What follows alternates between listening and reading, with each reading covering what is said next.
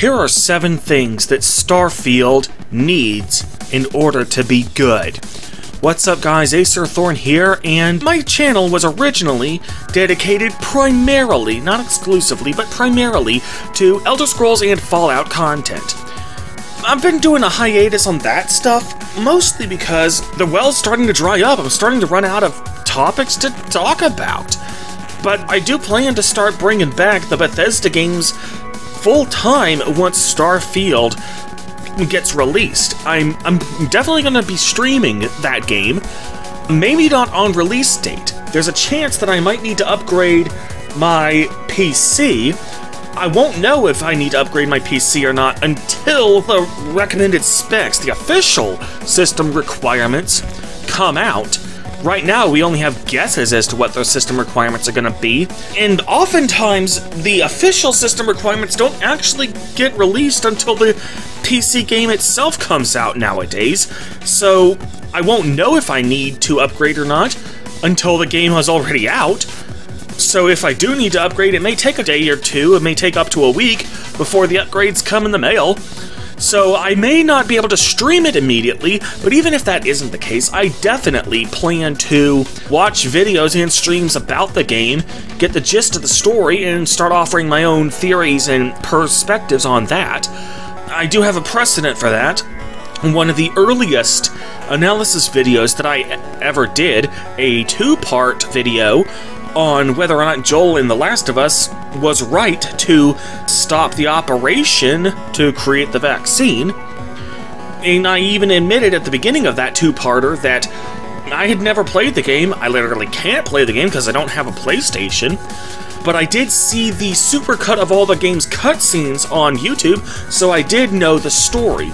So if I have to start out doing fan theories based on that, when Starfield comes out, I will.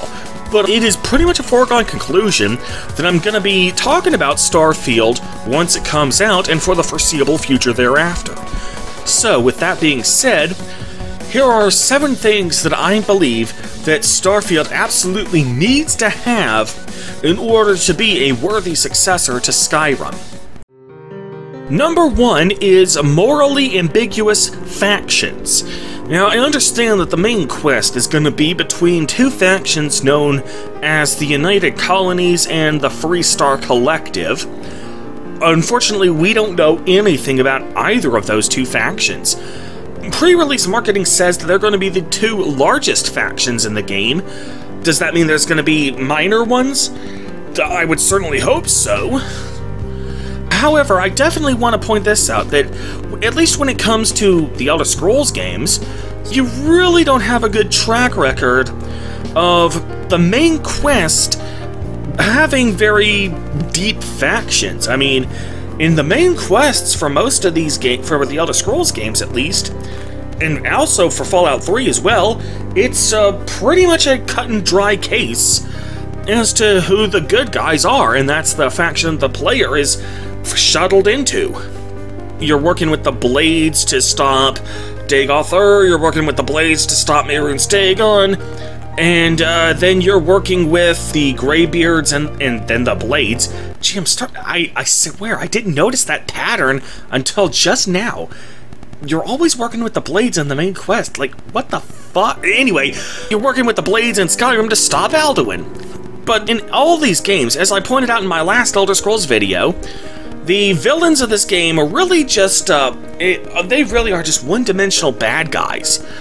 Fallout 4 was the first game developed by Bethesda that really took a serious crack at having morally ambiguous factions in the main quest. Like, there's no right or wrong answer here. You can make a case for nearly any faction being the best hope for rebuilding the Commonwealth. That is what I want to see happen in Starfield. I want the United Colonies and the Freestar Collective to both have their pros and their cons. I want to actually make a choice for myself, and I want it to be a tough one. It's to which side I pick. Number two is multiple diametrically opposed joinable factions. Now this ties in with the first one. But it's more of a side issue than it is for the main quest. Like, in the main quests in the Elder Scrolls games, you only had one way to actually do the main quest, aside from Daggerfall, but even then it only really split at the very end. But in Morrowind, the faction quest lines that you could join were you had multiple factions that you could join. Like, you could join the Mages Guild or you could join the House Telvanni magic faction. In Oblivion and Skyrim, that was pretty much gutted. You really only had two options be good or be evil, and if you were good, you joined the Fighters Guild, Mages Guild, Companions, and College of Winterhold. Not that the Companions were the good guys anyway, uh, for reasons I actually made a video about a few years ago. Check that video out for more details. And if you were evil in Oblivion and Skyrim, you pretty much joined the Dark Brotherhood and the Thieves Guild. There was no option to join diametrically opposed factions in Oblivion and Skyrim except for the Civil War in Skyrim, which that which I mean that and yeah that's that's just it. I loved how morally ambiguous that civil war was and I want to see more of it. I want there to be factions that you can join and have fully fleshed out quest lines throughout them independent of the main quest. And more importantly than that I want those factions to have opposing factions that you could join instead of the other ones that are just as diametrically opposed to each other as the United Colonies and Freestar Collective are. The, uh, the goal of these non-linear RPGs is to let the player play however they want, and sadly the factions in Oblivion and Skyrim just do not cut the mustard in that respect you really need to give people a choice as to whether they're going to join the highly regulated and highly restricted faction that manages to avoid blowing people up, or are you going to join the faction that gives its members carte blanche, but to hell with who gets hurt in the process? Which one are you gonna do? That should be up for the player to decide. In these open world RPGs where the player gets to play however they want, you need to be able to give them options and have those options actually mean something. Speaking of options with meaning, that's number three branching storylines. I don't mean just like once you've chosen a faction, that's the only time the storyline branches in any way. No, I mean, let's say I'm sent by a faction to do something, and whether or not I complete that task successfully has a drastic uh, difference, and not just a dialogue difference, but the actual story itself will change radically based on whether I succeeded or failed uh, to uh, uh, to secure that base or whatever. Uh, and up until now, the closest thing we've actually had to um, to uh, to consequences for failure are not actually branching storylines per se. They were, um, if you don't, if you fail this quest, then you don't get this guy's help in the final battle. I'm sorry, that's not very interesting. Like, anybody can do that. Uh, actually tell us some sto- actually have the story itself change based on what you do at various, uh, intervals at various pivot moments, and that'll give us an opportunity and give us an incentive to play the game multiple times and play the game uh, and intentionally do things differently on subsequent playthroughs because we don't just want to see, oh, this, oh, uh, if Boris dies here, you, he can't uh, fight alongside you when you opening the Great Gate boring. Just boring. We already know exactly what that's going to look like, even if we've never actually played that path. It's not at all hard for us to imagine what the Great Gate battle without Boris would look like. It would look exactly the same as it does with Boris, just with one guy short, and a guy that isn't even going to make all that much difference any damn way. No, I mean the story itself should actually uh, change almost completely uh, based on a decision you make or a success or failure that you perform. Like, uh, go and actually read some of those old choose your own adventure books and think about how radically the story will change uh, based on what you choose during a uh, uh, at a specific point. Uh, like in one in one case, you're spending the night in haunted house because the security guard found you and he's giving you sleeping bags. And in another in another uh, this branch, the, the, there's no security guard, but there is a mummy because the museum really is haunted. And in another branch, you end up going in circles, taking only left turns for the rest of eternity until you realize that the game that the book is just uh, throwing you for a loop. I mean, the game will, the, the books will, the stories will change radically. It'll become a completely different story based on choices that don't really matter that you don't think really matter all that much. Like, one of the first uh, Choose Your Own Adventure books I ever read was uh, the Goosebumps Choose Your Own Adventure book called Beware the Purple Peanut Butter. And when you ate either the purple peanut butter or some brown cake, you would either grow or shrink. Uh, I think the purple peanut butter uh, made you shrink, if you ate it first. But if you ate the cake first, you would start to grow. Um, but then if you went back and ate the purple peanut butter because you thought, well, I, I read another branch and that makes me shrink, so maybe that'll cancel out the cake growth. Uh, you eat the purple peanut butter and then it makes you grow even faster. Like, there doesn't need to be any continuity between these branching storylines. Uh, it, that, in fact, that just keeps the audience on their toes. so yeah, we definitely need branching storylines, both in the main quest and in the side quest lines as well. Number 4, a Minecraft-esque colony and base building system. Now, uh, Bethesda has advertised that there's going to be over a thousand planets, and that these planets are all going to be life-sized. Now, people hear that, and a lot of people are instantly hit with the assumption that it's all just going to be vast empty space rather than anything interesting being done with it. And much to my surprise, Todd Howard even admitted, uh, yeah, there's to be plenty of planets that are just barren wastelands that really serve no purpose other than just to be strip mined for resources or to allow open spaces for modders to set up their own content without obstructing the main stuff. Uh, yeah, he admits that that's really all that these extra planets are going to be good for in terms of actual gameplay. Well, if you're just going to let me strip mine them for resources, and that's all they're there for without mods, well then, uh, there needs to be something compelling that I can actually do with these resources. Uh, and in Fallout 4, your settlement building system was actually quite robust by Bethesda standards. Um, Minecraft was, uh, I mean, I mean, to be fair, it's not fair to compare it to Minecraft because, and for that game, the whole point of the game is getting as much resources as you can and then building the biggest shit ever. Uh, but really, though, that is the ideal you should strive for. If there's going to be literal whole, full-sized planets worth of raw materials that you can mine, uh, that's going to be a lot of materials.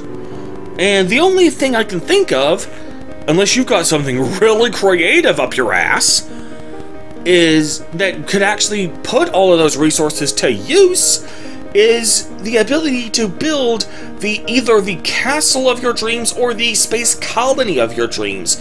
Co a colony capable of realistically supporting thousands of NPCs and for there to actually be uh, living spaces, jobs, and uh, and, and and food and services uh, to support a population of literally thousands of them or just the mother of all personal player homes that just store that's just like the that rivals the Taj Mahal in terms of grandioseness. Um, if you, I mean, and we should really only be limited by two things our imagination and the amount of RAM our computers have to be able to load all of this stuff. Uh, I mean, you're really gonna need to go all in with these, um, with the resources if you're going to, um, give us all of these resource. If you're gonna give us all of these resources to play with, you really need to go all in in giving us near complete creative freedom to build absolutely massive stuff with these resources. Number five, and this is where we're going to be diving headfirst into the uh, gameplay section of this game, uh, is good puzzles in the dungeons.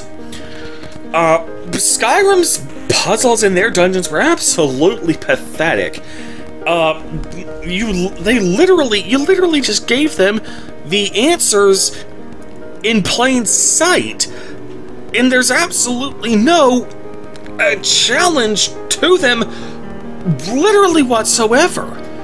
Uh, are you afraid that if you made the puzzles too too difficult to solve, that uh, players wouldn't might get stuck on them? Because you know that's what online guides are for, right? I mean, there's there's absolutely no excuse. I mean, at the very least, uh, keep the puzzles as part of optional dungeons, and then if you do include a puzzle in a mandatory dungeon, give us an alternate path where we can just brute force our way through. Uh, alternate paths are always a good thing. You can never go wrong with giving alternate paths anyway. Um, but really, though, I cannot stress this enough, Bethesda. In Skyrim, your puzzles absolutely sucked, and what's worse is that you actually, instead of just admitting that you fucked up, you published an in game book uh, where you tried to give the in universe explanation that uh, the puzzles are so simple because they aren't designed to keep adventurers out, they're designed to keep the Draugr in. But that doesn't that does, that's ridiculous. I mean, as soon as you like you literally show people either getting killed or having or already being dead at the because they can't figure out the puzzles. So this is clearly meant to be a brain bender in universe. And yet it's the simplest shit that even a child could figure out. Like Look, th this is this really you suck with puzzles. Hire a guy, at least one guy, who actually is good at designing dungeon puzzles, and and then just uh, whenever you're making the dungeons, just have a separate section of the dungeon that, that remains un that just is just a big old blank slate with a door at the end, and then tell the puzzle guy that he needs to use the space provided to craft a puzzle that'll be used to open that door. And then just let him go buck wild. That's the best solution I can think of since uh, those who are all who worked on Skyrim clearly have no fucking idea how to do even the simplest of puzzles. Well, no, they do have an idea how to do the simplest puzzles, and that's the problem. That's all they can do, is literally the simplest of puzzles. Number 6. NPCs who all matter. Now, earlier I said that the factions, there needed to be multiple factions and they all needed to have their pros and cons. Uh, I didn't want there to be any actual throwaway factions, but here I understand that you that mm, you can't really give every NPC a major character status.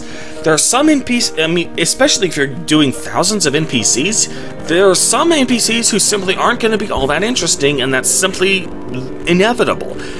However, you can still have the NPCs have some sort of impact on the world.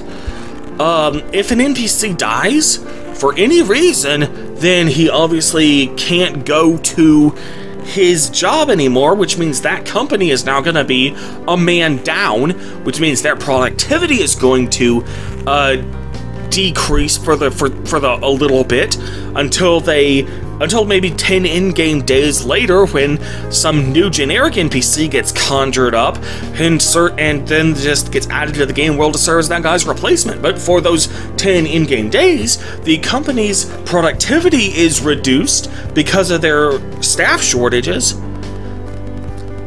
And uh, then everybody else who uses that company's products uh, has to adjust to has to adjust their own style lifestyles uh, temporarily because they don't have access to the to as many of the products anymore.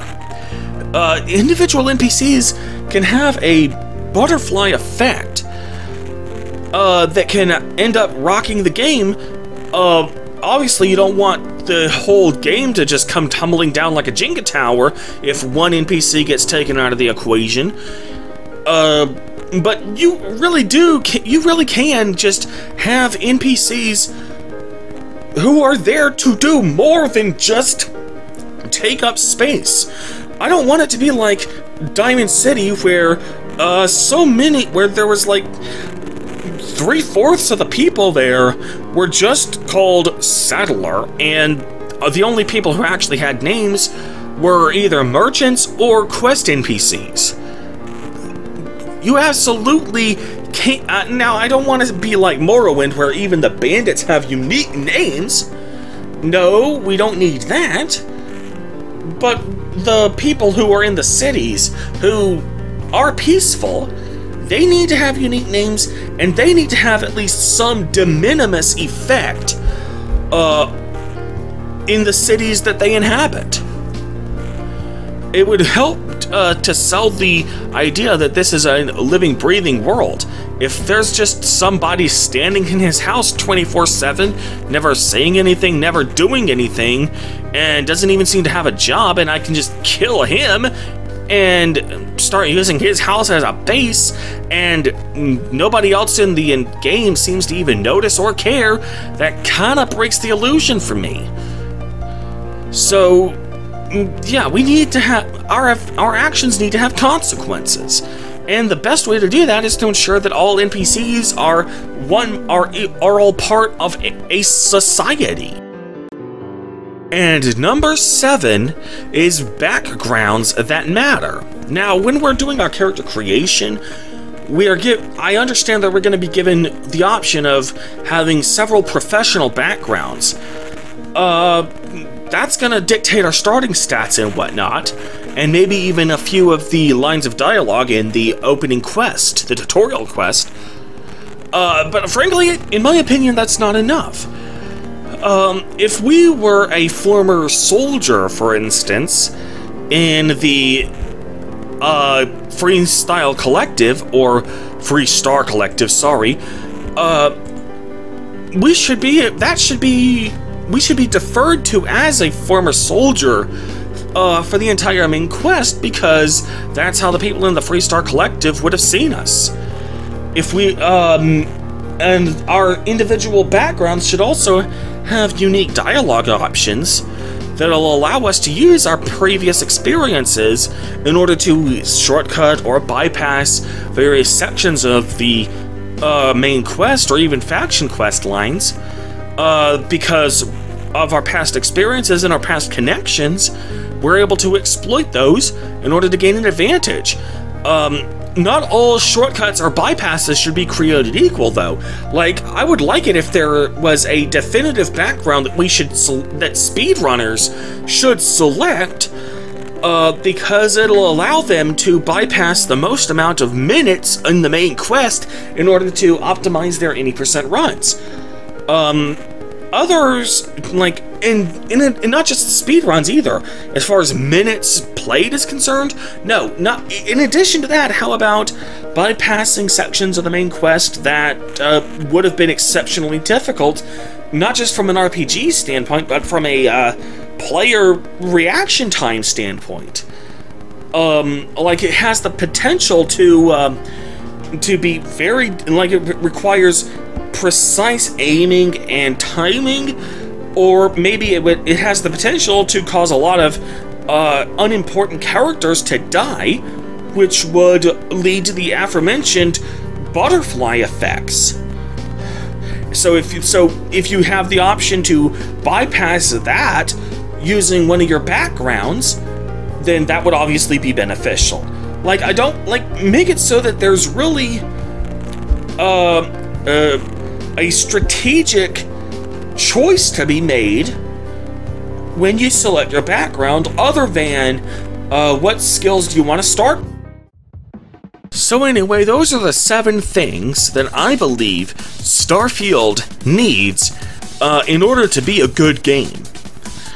Uh, this mm, th this game has been described by Todd Howard as Skyrim in space. Uh, and so it is directly inviting comparisons to Skyrim, and if it's going to live up to that legacy, uh, those are the seven things that I think it needs in order to be a worthy successor to Skyrim. So, with that being said, I am Acerthorn, and I will see you guys next time. Peace!